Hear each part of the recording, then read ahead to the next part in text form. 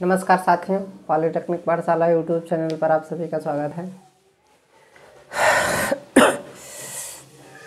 Electrical machine first में जो कि थर्ड सेमेस्टर का सब्जेक्ट है, उसमें डीसी मशीन आपको पढ़ाया जा रहा है, करेक्टरिस्टिक आपको पढ़ा दिया गया, आज स्टार्टर पढ़ाया जाएगा, स्टार्टर आज ख़त्म हो जाएगा, ठीक है? तो स्टार्टर में, डीसी मशीन में स्टार्टर की ज़रूरत क्यों पड़ी? डीसी मशीन में स्टार्टर की ज़रूरत इसलिए पड़ी क्योंकि स्टार्टिंग कंडीशन में डीसी मशीन में हमारा जो स्टार्टिंग करंट होता है, वो बहुत ही ज़्यादा होता है। लगभग पाँच से सात गुना करंट होता है आप full load current full load current का पाँच से सात गुना एट स्टार्टिंग कंडीशन में। रनिंग कंडीशन की मैं बात नहीं कर रहा हूँ। एट स्टार्टिंग कंडीशन में जो है पाँच से सात गुना करंट होती है। कारण क्या है कि just at the point of start DC motor के स्टार्टिंग कंडीशन में, ठीक है? स्टार्टिंग कंडीशन में जब उसे सप्लाई दे दिया जाता है तो तुरंत वो स्टार्ट नहीं होता है। थोड़ा उसको टाइम लगता है तो उस समय उसकी स्पीड ज़ीरो होती है तो बैक ई ज़ीरो होता है। तो बैक ई ज़ीरो होने की वजह से जो है, उस समय जितना सप्लाई वोल्टेज दिया जाता है, वो किसमें कन्वर्ट हो जाता है? करंट में कन्वर्ट हो जाता है, जो कि फुल लोड करंट का वो पाँच से सात गुना स्टार्टिंग करंट होता है, ठीक है? तो इस करंट की वजह से हमारी जो मोटर की वाइंडिंग है इंसुलेशन वगैरह सब क्या हो जाएगा? जल जाएगा, ठीक है? तो इसीलिए हम स्टार्टर का प्रयोग करते हैं। तो स्टार्टर का प्रयोग करने से क्या होता है कि स्टार्टिंग करंट को क्या करता है? लिमिट करता है। स्टार्टर जो है स्टार्टिंग करंट को क्या करता है? लिमिट करता है, ठीक है? तो स्टार्टिंग करंट को लिमिट करने के लिए हम क्या करते हैं? स्टार्टिंग करंट को लिमिट करने के लिए हम स्टार्टर का प्रयोग करते हैं। हम स्टार्टर का प्रयोग मोटर को स्टार्ट करने के लिए नहीं करते हैं। ऐसा नहीं है कि हम स्टार्ट करने के लिए हम मोटर को स्टार्ट कारण क्या है कि हम स्टार्टर का प्रयोग जो है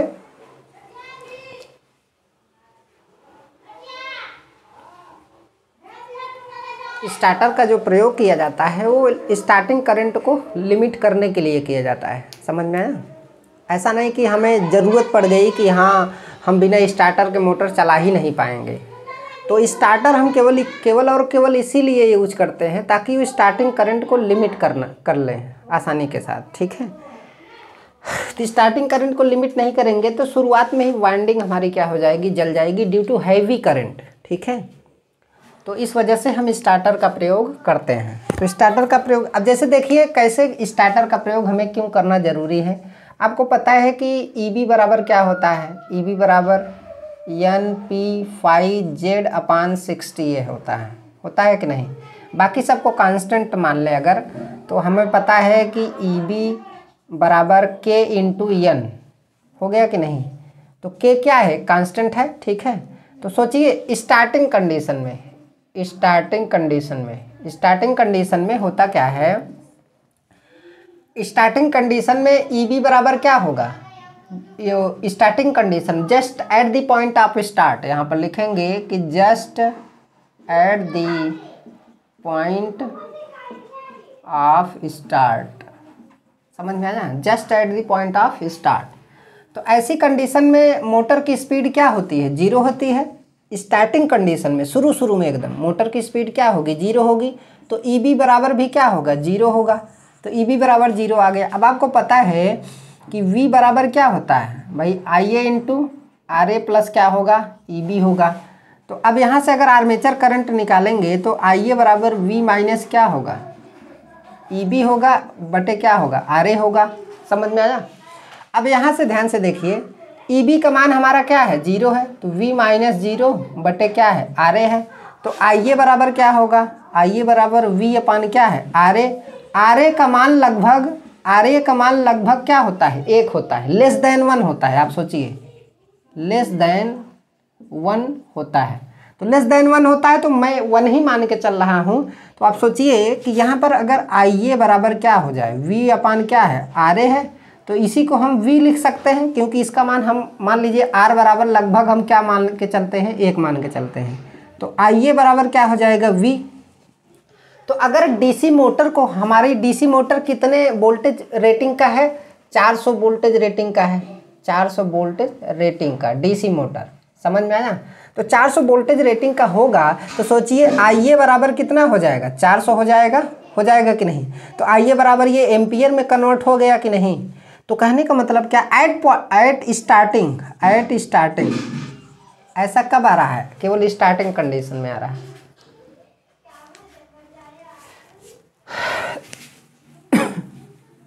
शायद दिखाई नहीं दिया है। तो सिंपल सी बात है, अगर आई ए बराबर आपका क्या है? वी है। अब वोल्टेज रेटिंग मोटर की कितनी है? स्टार्टिंग मतलब 400 वोल्ट पे मोटर हमारी क्या होगी? ऑपरेट होगी तो यहाँ पे आप 400 लिख देंगे। जब 400 लिख देंगे तो ये तो एम्पियर में कन्वर्ट हो गया ना। तो 400 वोल्ट हमारा 400 एम्पियर की करंट में क्या हो जाएगा? कन्वर्ट हो जाएगा, जो कि बहुत ही डेंजरस है। समझ में आया? जो कि बहुत ही क्या है? डेंजरस है। तो स्टार्टिंग में इसी करंट को लिमिट करने के लिए हम स्टार्टर का प्रयोग करते हैं। ऐसा नहीं कि हमें स्टार्टर का प्रयोग करना बहुत ही ज़्यादा क्या है, ज़रूरी है।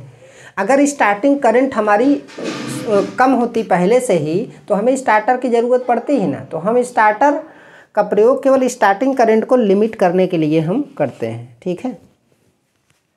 इसके, इसको हम बाद में बताएँगे एग्ज़ाम्पल के तौर पे बताएँगे। ठीक है?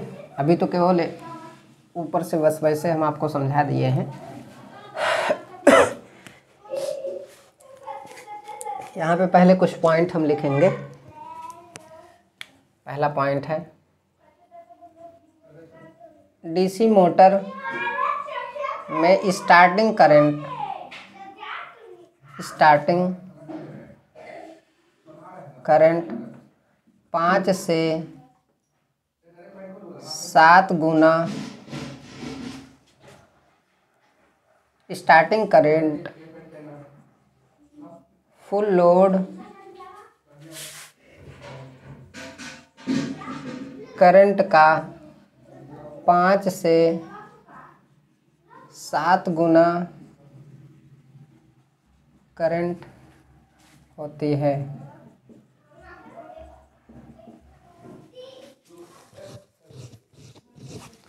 फुल लोड करंट का कितना होता है? पाँच से सात गुना। अगर फुल लोड करंट हमारे मान लीजिए बीस एम्पियर है तो सात गुना इसका कितना होगा? सात दूनी चौदह, एक सौ चालीस एम्पियर स्टार्टिंग करंट फ्लो करेगी, जो कि वेरी डेंजरस है, जो मोटर झेल ही नहीं पाएगी, ठीक है?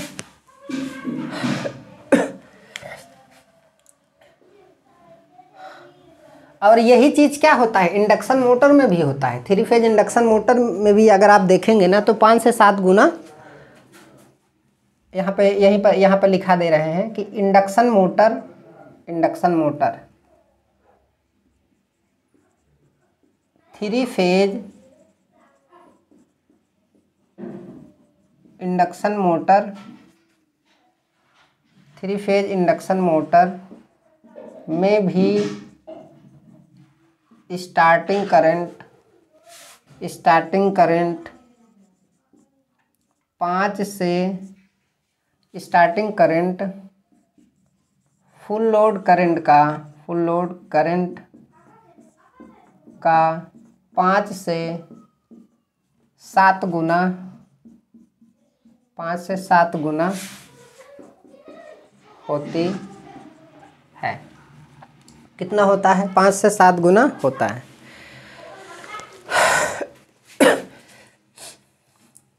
अब देखिए, ट्रांसफार्मर में अगर देखें ट्रांसफार्मर। हालाँकि हमको डीसी मशीन का पढ़ना है, लेकिन आप यहाँ पे सारी चीज़ें लिख दीजिए कि ट्रांसफार्मर में no load current, no load current. आपको पढ़ाया गया है, ट्रांसफार्मर में no load current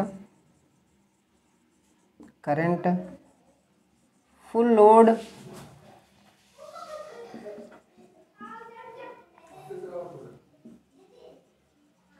Current का दो परसेंट से पाँच परसेंट होती है। दो परसेंट से कितना होता है? पाँच परसेंट होता है। और अगर मैं इंडक्शन मोटर की बात करूँ, इंडक्शन मोटर में तीस से चालीस परसेंट होता है। यहाँ पे यहाँ पे अगर परसेंटेज में लिखना चाहेंगे कि तीस से चालीस परसेंट आप फुल लोड करेंट तीस परसेंट से चालीस percent of full load current full load current.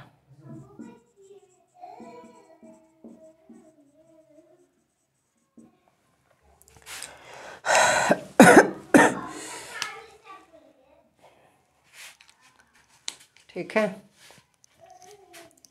तो ये पॉइंट लिखना आपके लिए क्या था? ज़रूर। डीसी मशीन में पाँच से सात गुना होता है। थ्री फ़ेज़ इंडक्शन मोटर में भी पाँच से सात गुना होता है। परसेंटेज में देखेंगे तो तीस से चालीस परसेंट होता है। ट्रांसफार्मर में नो लोड करंट जो है आपका दो परसेंट से पाँच परसेंट होता है। समझ में आया? तो डीसी मशीन में जो स्टार्टिंग करंट होती है, आप नो लोड, इसमें ट्रांसफार्मर में नो लोड करंट होता है, मोटर में क्या होता है? स्टार्टिंग करंट होता है। या फिर आप उसी को नो लोड करंट के नाम से भी क्या करते हैं, जानते हैं। लेकिन डीसी मोटर में आप उसे स्टार्टिंग करंट ही कहेंगे, ठीक है? क्योंकि कुछ मोटरें होती हैं जो नो लोड पे स्टार्ट की जाती हैं, कुछ मोटरें होती हैं जो लोड पर स्टार्ट की जाती हैं।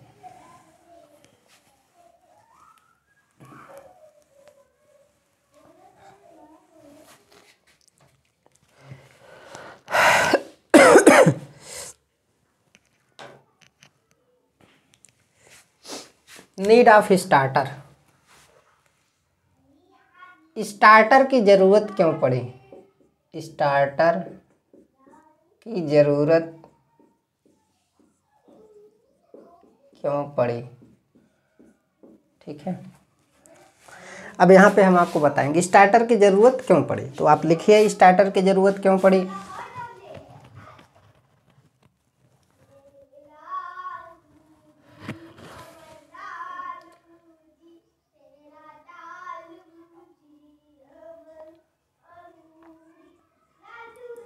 जब डीसी मोटर को स्टार्ट करने के लिए, करने के लिए सप्लाई देते हैं, जब डीसी मोटर को स्टार्ट करने के लिए सप्लाई देते हैं तो ठीक ठीक स्टार्टिंग के समय देते हैं तो just at the point of start start start motor की स्पीड, मोटर की स्पीड एन बराबर ज़ीरो होती है। ज़ीरो होती है।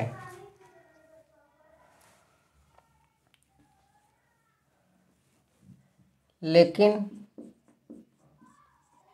लेकिन सप्लाई मोटर में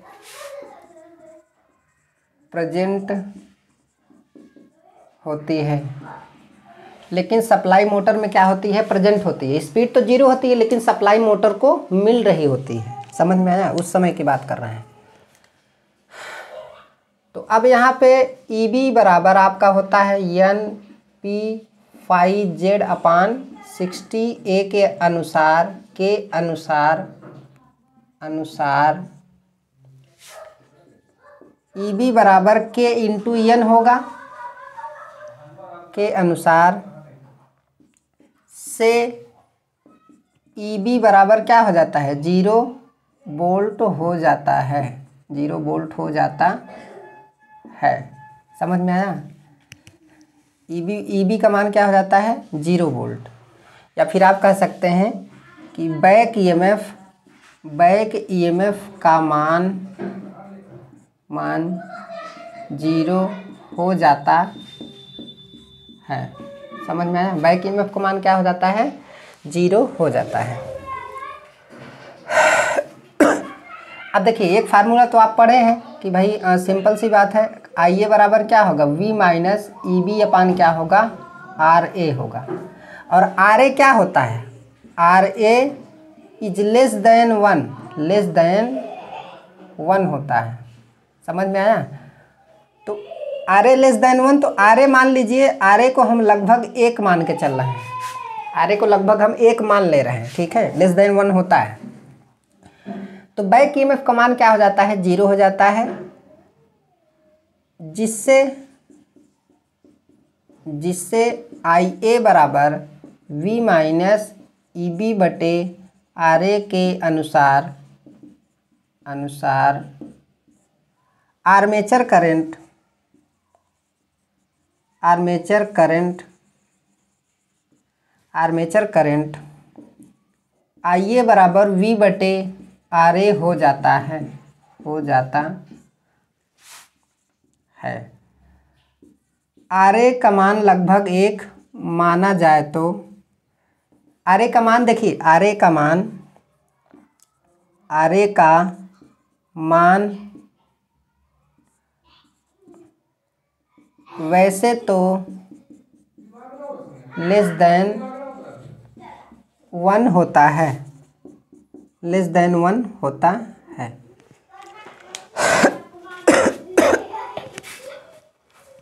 हो गया?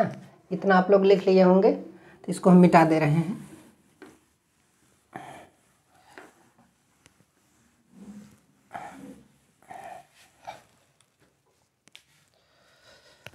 वैसे तो क्या होता है लेस देन वन होता है, लेकिन लेकिन आर ए लगभग एक माने तो माने तो आई ए बराबर वी अपान आर ए से आई ए बराबर वी हो जाता है। हो जाता है।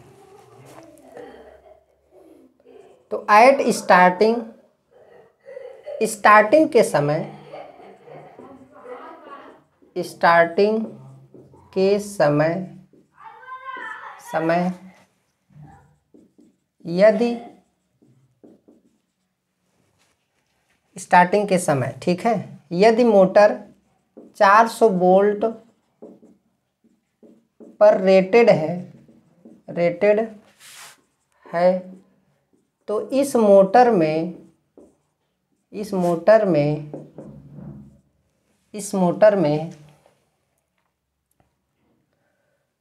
starting current starting current 400 ampere flow करेगी। 400 एम्पियर फ्लो करेगी। समझ में आया? 400 एम्पियर फ्लो करेगी। जो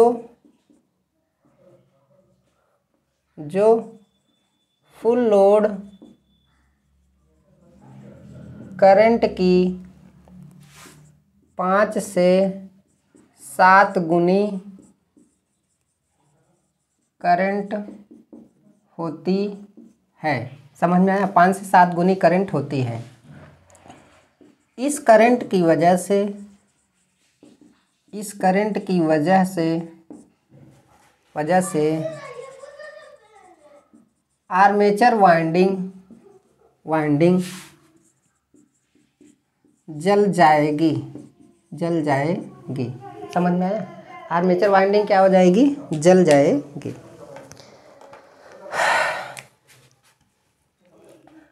तो मोटर को स्टार्टिंग में स्टार्टिंग में जलने से बचाने के लिए, जलने से बचाने के लिए, मोटर को स्टार्टिंग में जलने से बचाने के लिए हम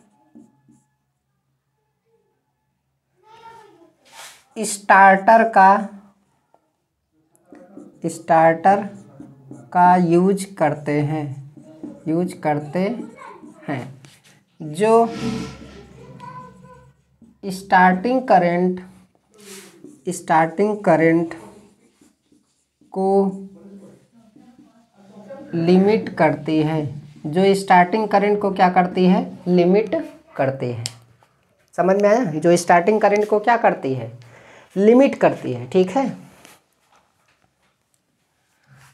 तो स्टार्टर का प्रयोग हम क्यों करते हैं? स्टार्टिंग करंट को लिमिट करने के लिए। स्टार्ट करने के लिए नहीं। भाई मोटर को स्टार्ट करने के लिए हमें स्पेशली स्टार्टर की ज़रूरत नहीं पड़ी। लेकिन हमें स्टार्टर की ज़रूरत क्यों पड़ी?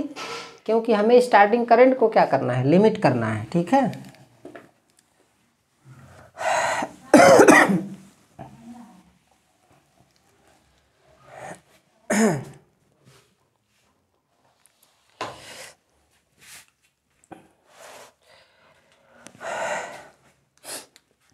अब देखिए, उसके नीचे थोड़ा सॉल्व कर लेंगे कैलकुलेशन कर लेंगे।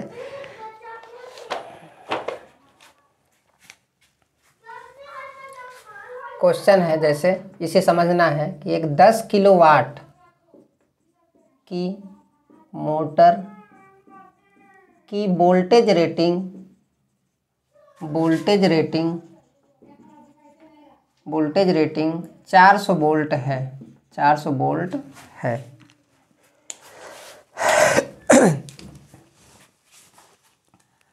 तथा तथा armature circuit resistance resistance 0.2 ohm है।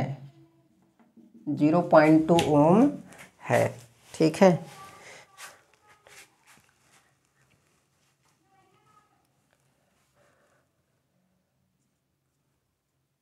तो स्टार्टिंग समय में स्टार्टिंग टाइम में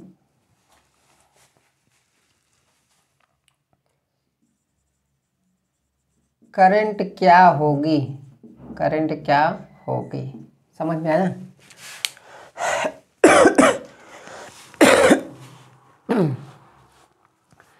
स्टार्टिंग बोल दे या स्टैंड स्टिल बोल दे? और करके स्टैंड स्टिल स्टैंड स्टिल। तो यहाँ पे क्या होगा? भाई एट स्टैंड स्टिल अगर देखा जाए तो एट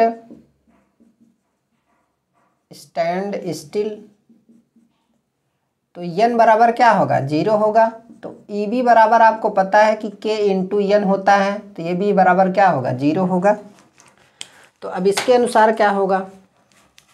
सिंपल सी बात है। आपको पता है कि v बराबर क्या होता है? I A into R A plus क्या होगा? ई बी होगा। तो यहाँ से अगर आई ए का मान निकालेंगे तो आई ए बराबर आपका क्या होगा? V minus E B upon क्या होगा? आर ए होगा। तो यहाँ से आपको पता है कि वी अपान क्या होगा? आर ए होगा। आर ए का मान कितना है? आपको पता है कि आर ए का मान कितना है? Zero point two ohm. ठीक है? ज़ीरो पॉइंट टू ओम है। और वोल्टेज का मान कितना है भाई? चार सौ वोल्ट सोचिए। तो आई ए का मान आई ए बराबर आपका कितना है? वी अपान क्या है? चार सौ बटे कितना लिखेंगे? चार सौ बटे आपका ज़ीरो पॉइंट टू ओम लिखेंगे, ठीक है? तो दशमलव हटाएँगे तो यहाँ पर कितना आ जाएगा? दस, बढ़ जाएगा तो यहाँ पर क्या है? सोचिए, दो हज़ार आई ए का मान कितना होगा? दो हज़ार एम्पियर की करंट क्या करेगी? फ्लो करेगी, आप सोचिए। दो हज़ार एम्पियर की करंट क्या करेगी? फ्लो करेगी। अब यहाँ पर ध्यान से देखिए, ये हमारी क्या है? स्टार्टिंग करंट है। ये क्या है हमारी? स्टार्टिंग करंट है। अगर फुल लोड करंट आप निकालना चाहते हैं, क्या निकालना चाहते हैं? फुल लोड करंट क्या करना चाहते हैं? निकालना चाहते हैं, ठीक है? अगर फुल लोड करंट निकालेंगे कि मोटर का जो रेटेड करंट है, वो कितना है तो वो चीज़ भी आप यहाँ पे क्या कर सकते हैं? निकाल सकते हैं। जैसे स्टार्टिंग करंट अगर मैं स्टार्टिंग करंट की बात करूँ तो यहाँ पे काफ़ी ज़्यादा जगह है तो इतना आप लोग उतार लीजिएगा। देखिए स्टार्टिंग करंट कितना आया? स्टार्टिंग करंट स्टार्टिंग करंट आपका कितना आया भाई? दो हज़ार एम्पियर आया। आपको समझ में आ गया होगा कि ये कितनी करंट है। अगर हम फुल लोड करंट निकालें तो full load current full load current full load current वो करंट है जिस पर मोटर की रेटिंग है। मतलब इतनी करंट को आसानी के साथ मोटर क्या कर सकता है? झेल सकता है। वो फुल लोड करंट है। ठीक है? तो अब 10 किलोवाट क्या है? आपको पता है कि पावर P बराबर V इंटू क्या होता है? आई होता है। तो P बराबर आपका कितना दिया है? 10 किलोवाट दिया है कि नहीं? वोल्टेज आपका कितना दिया है? 400 तो अब देखते हैं कि करंट कितनी फ्लो हो रही है। तो आई बराबर आपका क्या, कितना है? पी अपान वी तो पी बराबर कितना है आपका? दस किलो वाट है। समझ में आया? पी बराबर कितना है? इसको थोड़ा ऊपर लिख दें। वी बराबर आपका कितना है? 400 वोल्ट। ठीक है? तो अब यहाँ पे आप पावर रखिए। भाई दस गुड़े एक हज़ार। एक हज़ार लिखेंगे कि नहीं? यहाँ पर किलो है ना? तो उसके बाद वोल्टेज कितना है? चार सौ है। तो कट जाएगा। ये भी कट जाएगा। तो सौ सौ बटे कितना है? चार सौ। चालीस, ओ, चार है, ठीक है? तो पच्चीस आ गया, पच्चीस एम्पियर की करंट फ्लो करेगी। तो फुल लोड करंट मतलब full load current, full load current, full load current कितना है? पच्चीस एम्पियर है। आप सोचिए, और स्टार्टिंग करंट कितना है? देखिए, हमारी जो मोटर के रेटेड करंट है, वो पच्चीस एम्पियर है। मैक्सिमम मोटर कितनी करंट ले सकती है? पच्चीस एम्पियर। लेकिन अगर उसी मोटर में स्टार्टिंग में 2000 हज़ार करंट अगर फ्लो हो जाएगी तो क्या हो जाएगा? हमारा मोटर जल जाएगा। सिंपल सी बात है तो 2000 करंट तो कितना गुना है? अगर आप देखेंगे तो कितना गुना है? लगभग पाँच से सात गुना है। समझ में आया? और देखेंगे तो अगर इसी पच्चीस में कितने का गुड़ा करेंगे? भाई, सात का गुड़ा करेंगे तो पच्चीस सत्ते कितना होगा? एक सौ पचहत्तर होगा शायद? एक सौ पचहत्तर? पच्चीस सत्ते कितना हो जाएगा? एक सौ पचहत्तर। मतलब बहुत ज़्यादा करंट है एक प्रकार से अगर देखा जाए। तो फुल लोड करंट हमारी इतनी ही क्या करेगी? फ्लो करेगी। दस गुड़े एक हज़ार तो ये चार सौ कट जाएगा तो यहाँ पे सौ बटे पच्चीस आएगा। तो आप देख सकते हैं कि यहाँ पर देखिए, इस रेजिस्टेंस पे भी क्या करेगा? डिपेंड करेगा। इस रेजिस्टेंस में भी क्या करेगा? डिपेंड करेगा। समझ में यहाँ पर रेजिस्टेंस की वैल्यू क्या है? बहुत कम है। वैसे भी आर्मेचर का जो रेजिस्टेंस होता है, वो बहुत ही कम होता है। तो आपको यहाँ पर ये देखना है। अभी यहाँ पर जो करंट आ रही है निकल करके, आप देखेंगे कि पच्चीस में हम कितने का गुड़ा करें कि आपका पच्चीस चौका सौ पच्चीस अट्ठे दो सौ। पच्चीस में अगर हम अस्सी का गुड़ा करें, ठीक है? पच्चीस में अगर मैं अस्सी का गुड़ा करूँ तो कितना आ जाएगा? पच्चीस अट्ठे दो सौ। ये दो हज़ार एम्पियर। मतलब अस्सी गुना करंट आ रही है। कितना आ रही है? अस्सी गुना। जबकि हमने बोला पाँच से सात गुना। तो वैसे तो पाँच सौ सात, पाँच से सात गुना होती है, लेकिन यहाँ पर आर्मेचर का रेजिस्टेंस हमने क्या किया है? बहुत ही कम लिया है। समझ में आया? लगभग एक के बराबर रखेंगे तो ऐसी कंडीशन में वो पाँच से सात गुना आएगा। ठीक है? तो ये एक एग्ज़ाम्पल था कि स्टार्टिंग कंडीशन में इतनी करंट फ्लो करेगी, जबकि फुल लोड कंडीशन में कितनी करंट फ्लो करेगी? 25 एम्पियर की करंट हमारी क्या करेगी? फ्लो करेगी, ठीक है?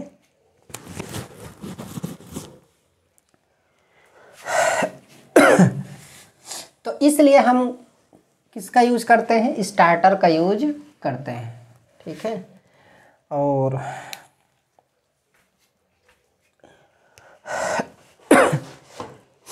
अब मैं टाइप ऑफ़ स्टार्टर आपको पढ़ाऊँगा कि टाइप ऑफ़ स्टार्टर, कितने टाइप के स्टार्टर होते हैं?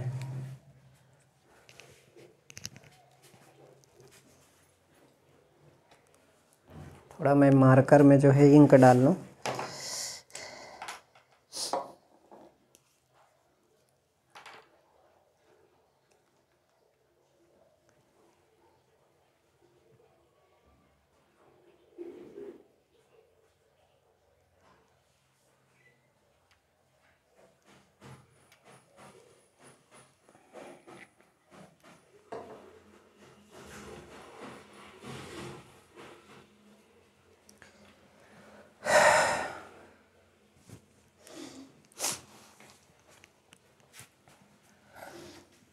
type of starter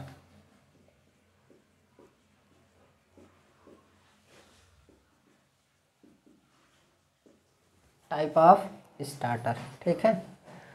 तो अगर मैं स्टार्टर की बात करूँ तो सबसे पहला है काउंटर ईएमएफ स्टार्टर सबसे पहला स्टार्टर काउंटर ईएमएफ स्टार्टर समझ में आया? दूसरा स्टार्टर है two point starter two point starter. तीसरा है आपका three point starter. Three point starter, ठीक है? और चौथा है आपका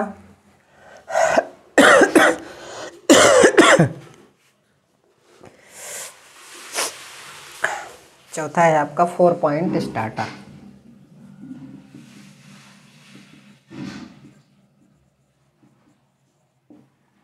Four point starter, ठीक है? अब यहाँ पे देखिए, थ्री पॉइंट स्टार्टर जो है हमारा, ये संट मोटर के लिए यूज़ किया जाता है। किसके लिए? संट मोटर के लिए।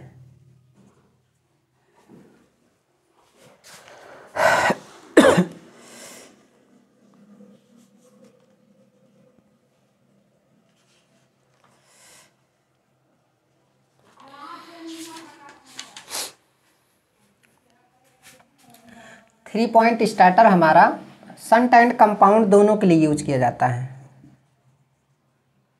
Used shunt and compound motor used shunt and compound motor समझ में आया? और ये किसमें किया जाता है? ओनली कंपाउंड मोटर में। कंपाउंड मोटर में। वैसे तो दोनों में यूज़ कर सकते हैं। तो नीचे दिखाई नहीं दे रहा है, ठीक है? नीचे दिखाई नहीं दे रहा है। तो इसको कहाँ पर यूज़ करते हैं? ओनली कंपाउंड मोटर, ठीक है? Only compound motor. तो इसको कहाँ पर यूज़ करते हैं? थ्री पॉइंट स्टार्टर को। यूज़ संट एंड कंपाउंड दोनों मोटर में। लेकिन स्पेशली इसको जो है संट मोटर में यूज़ किया जाता है। ये चीज़ ध्यान दीजिएगा। समझ में आया ना? अगर संट एंड कंपाउंड दोनों लिखा है, एक ही ऑप्शन में, ठीक है, तब तो वो सही होगा। लेकिन अगर उसमें shunt motor series motor compound motor none of this तो आप क्या मारेंगे? संट मोटर मारेंगे। समझ में आया? और ये किसमें? कंपाउंड मोटर में। हालाँकि इसमें भी संट मोटर का हम प्रयोग कर सकते हैं, लेकिन ओनली ये स्पेशली डिज़ाइन किया गया है कंपाउंड मोटर के लिए। और यह सीरीज़ मोटर में यूज़ होता है। यह सीरीज़ मोटर में यूज़ होता है। किसमें यूज़ होता है? सीरीज़ मोटर में यूज़ होता है, ठीक है?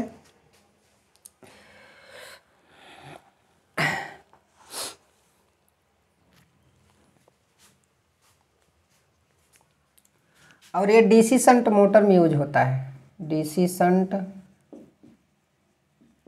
मोटर में यूज़ होता है। अगर काउंटर काउंटर ईएमएफ स्टार्टर की बात करेगा तो वो डीसी संट मोटर में थ्री पॉइंट स्टार्टर की बात करेगा तो डीसी संट मोटर में। अगर कंपाउंड भी साथ में है तो वो भी आप टिक करेंगे तो सही हो जाएगा।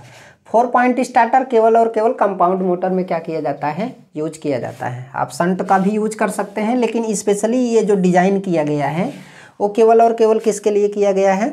कंपाउंड मोटर के लिए डिज़ाइन किया गया तो इतने टाइप के स्टार्टर होते हैं, ठीक है?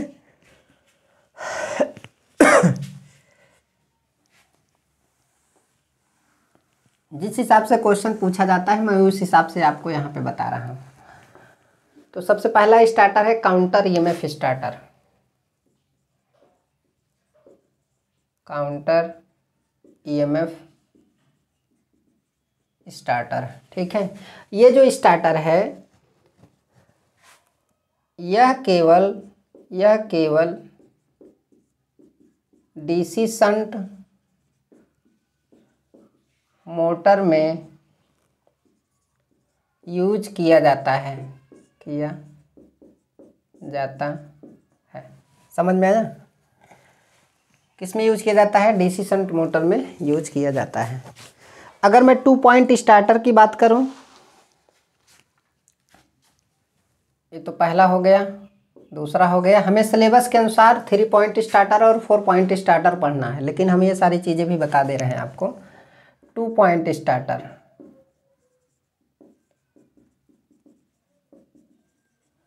Two point starter की अगर मैं बात करूँ तो यह दो प्रकार का होता है। यह दो प्रकार का होता है होता है। समझ में आया पहला पहला ड्रम टाइप स्टार्टर स्टार्टर।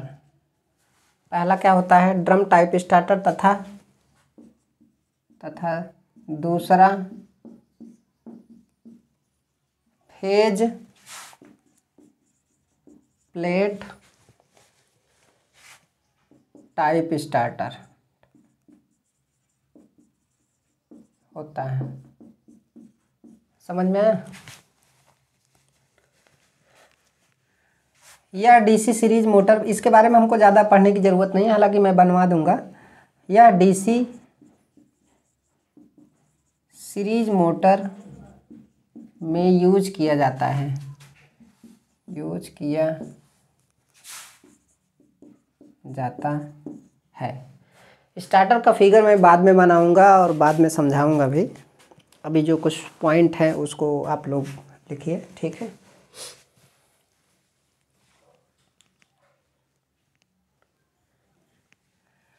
यह स्टार्टर सीरीज़ मोटर की स्पीड को भी कंट्रोल करता है। स्पीड को भी कंट्रोल करता है। कंट्रोल करता है। समझ में आया? ये जो हमारा स्टार्टर है ये स्पीड को भी क्या करता है? कंट्रोल करता है।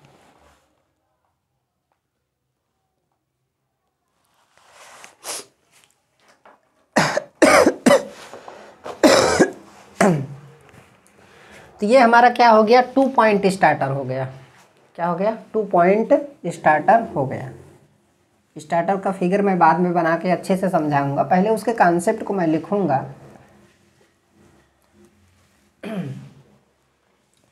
अब आगे आ जाते हैं थ्री पॉइंट स्टार्टर हमें पढ़ना है three point and four point three point starter ये तीसरा नंबर है। ठीक है? अब ये जो हमारा स्टार्टर है, यह संट तथा कंपाउंड दोनों मोटर में यूज़ किया जाता है, यूज़ किया जाता है। अगर ऑप्शन में संट और कंपाउंड दोनों दिया है एक ही एक ही ऑप्शन में, ठीक है? एक ही ऑप्शन का मतलब है कि जैसे थ्री पॉइंट स्टार्टर यूज़ होता है तो पहला ऑप्शन है संट मोटर संट मोटर दूसरा ऑप्शन है कंपाउंड मोटर तीसरा ऑप्शन है सीरीज़ मोटर और चौथा ऑप्शन है काम्यूलेटिव मोटर काम्यूलेटिव मोटर। समझ में आया? तो ऐसे केस में केवल आ केवल आप क्या मारेंगे? संट मारेंगे। ठीक है? ऐसे केस में। अगर मान लीजिए इसी ऑप्शन में दिया है shunt motor and compound motor. Compound motor. ठीक है? सीरीज़ मोटर दिया है, फिर कंपाउंड मोटर दिया है, कंपाउंड मोटर दिया है, और नन ऑफ़ द एवब दिया है। नन ऑफ़ द एवब तो ऐसे केस में आप ये वाला ऑप्शन क्या करेंगे? टिक करेंगे। ठीक है? इसलिए मैंने आपको बता दिया। तो क्वेश्चन इस तरीके से पूछे जाते हैं। तो थ्री पॉइंट स्टार्टर केवल और केवल three point starter shunt motor में यूज़ किया जाता है, लेकिन कंपाउंड में भी उसे यूज़ करते हैं। तो ऑप्शन में कैसे आएगा तो कैसे आप टिक करेंगे। लेकिन फोर पॉइंट स्टार्टर जो होता है, वो केवल और केवल स्पेशली डिज़ाइन किया गया है, वो कंपाउंड मोटर के लिए। ठीक है? थ्री पॉइंट में कुछ कमियाँ थी, जिसे दूर किया गया है।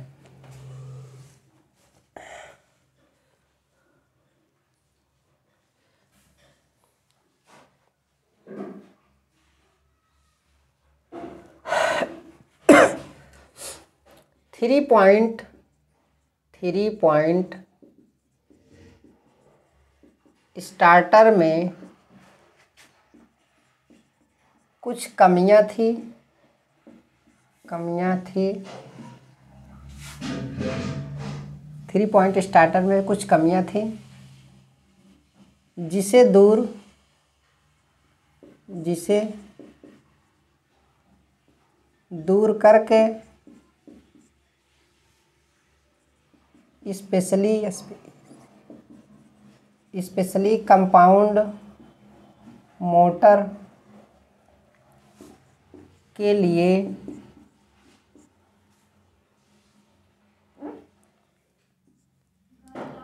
फोर पॉइंट स्टार्टर बनाया गया। फोर पॉइंट स्टार्टर बनाया गया। बनाया गया। ठीक है? थ्री पॉइंट स्टार्टर में कुछ कमियाँ थी, जिसे दूर करके स्पेशली कंपाउंड मोटर के लिए जो है फोर पॉइंट स्टार्टर क्या किया गया? बनाया गया। तो कंपाउंड मोटर में फोर पॉइंट स्टार्टर का हम क्या करते हैं? यूज़ करते हैं, ठीक है?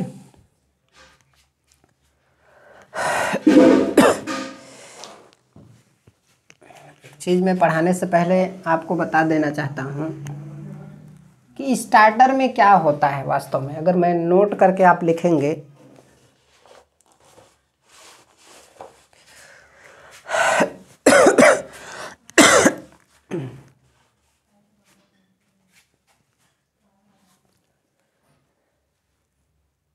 नोट करके लिखेंगे।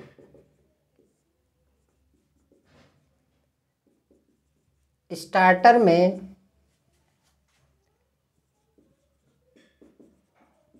रजिस्टर होता है। या रेजिस्टेंस होता है, कोई दिक्कत की बात नहीं है। रेजिस्टेंस होता है। यह रेजिस्टेंस रेजिस्टेंस आर्मेचर सर्किट के सीरीज़ में जुड़ा होता है। सीरीज़ में जुड़ा होता है। आर्मेचर सर्किट के सीरीज़ में क्या होता है? जुड़ा होता है। यह रेजिस्टेंस यह रेजिस्टेंस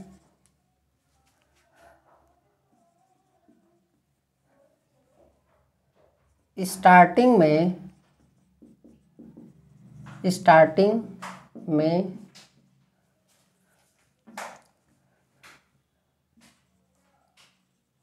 करंट को करंट को लिमिट करता है। करंट को क्या करता है? लिमिट करता है। ठीक है? तो स्टार्टर क्या करता है? स्टार्टर स्टार्टर केवल स्टार्टिंग करंट को लिमिट करता है। स्टार्टिंग करंट को लिमिट करता है।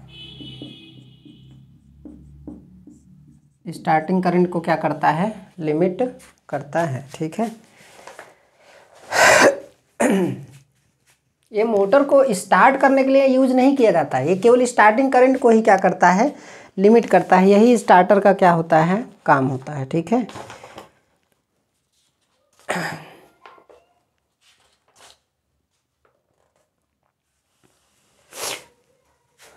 तो फ़ंक्शन ऑफ़ स्टार्टर की मैं बात करूँ।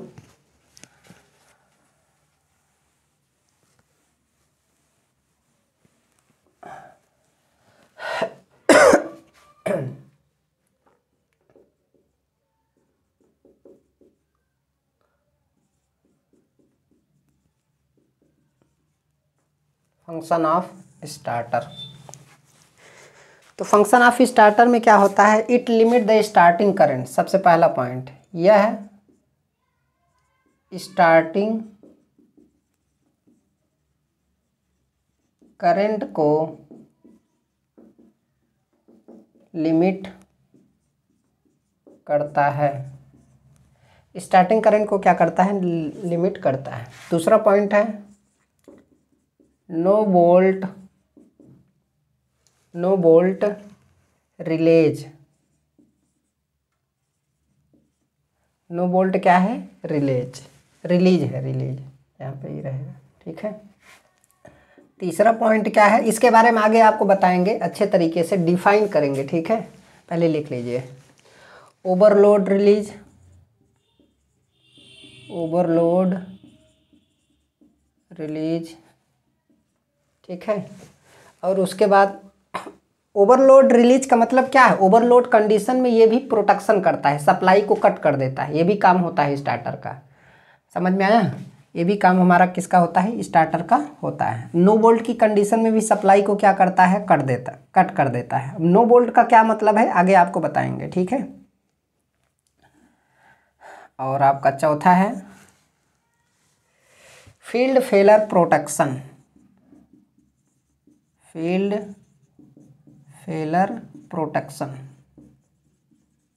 मतलब फ़ील्ड के फेल होने से भी क्या करता है? बचाता है। फ़ील्ड फेल हो जाएगा तो डेंजरसली हाई स्पीड हो जाएगी क्योंकि फ्लक्स ज़ीरो हो जाएगा। तो उससे भी प्रोटेक्शन ये स्टार्टर हमारा क्या करता है? प्रोवाइड करता है, ठीक है? तो ये तो फ़ंक्शन हो गया। ये हमारा क्या हो गया? फ़ंक्शन हो गया। और बाकी का टॉपिक जो है, अगले लेक्चर में आपको क्या करेंगे? पढ़ाएँगे।